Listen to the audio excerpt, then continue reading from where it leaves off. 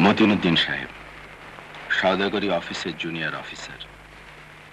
প্রতিদিনের মতো আজও কাজ শেষ করে বাড়ি ফিরছেন।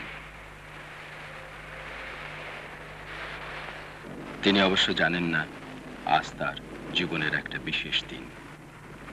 তার জন্য আজ বড় ধরনের বিস্ময় অপেক্ষা করছে।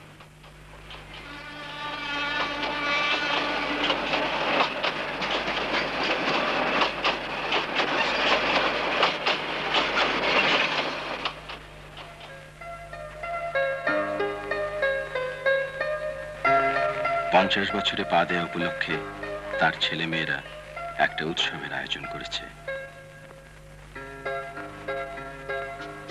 তার মতো অভাজনকে নিয়েও উৎসব হতে পারে এ তিনি কল্পনাও করেননি।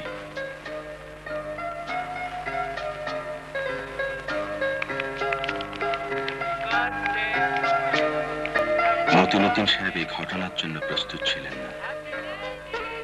আনন্দে তার চোখে পানি এসে গেল। এখান থেকে শুরু হলো শঙ্খনীল কারাগারের গল্প। একটি মধ্যবিত্ত পরিবারের আশা, আকাঙ্ক্ষা, হতাশা, বঞ্চনা, গ্লানি ও স্বপ্নের নিতান্ত চেনা গল্প।